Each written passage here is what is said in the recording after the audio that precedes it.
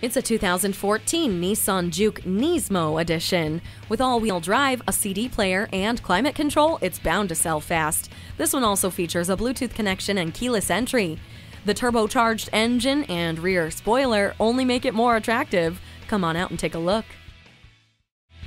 It's easy doing business at Davis Moore. Call or stop into the dealership near you today.